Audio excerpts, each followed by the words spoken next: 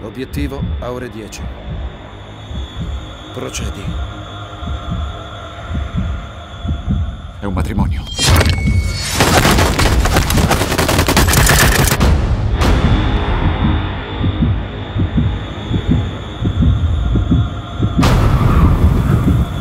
Ci siamo quasi, amico.